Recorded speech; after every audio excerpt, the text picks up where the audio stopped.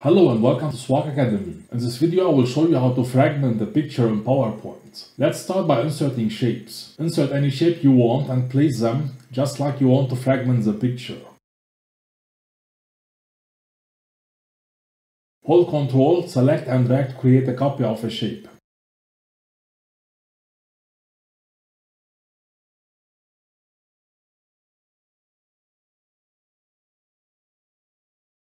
Hold shift while resizing them, this way the aspect ratio of the shape will not change.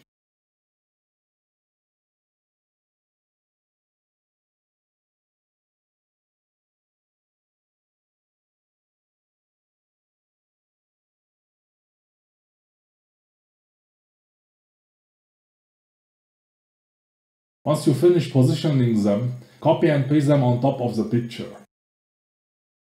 Make sure to select the picture first. Hold Ctrl and select all other shapes. Here it is important to select the picture first and the shapes second. Do not group the shapes, otherwise this will not work. Go to the Shape Format tab, Merge Shapes and choose Fragment.